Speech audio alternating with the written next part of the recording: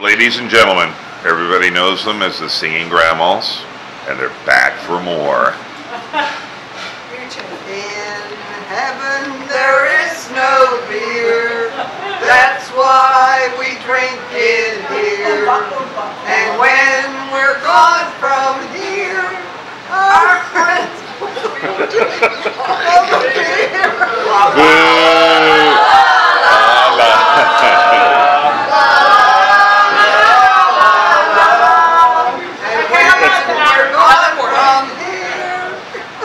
Our friends will be drinking all the beer.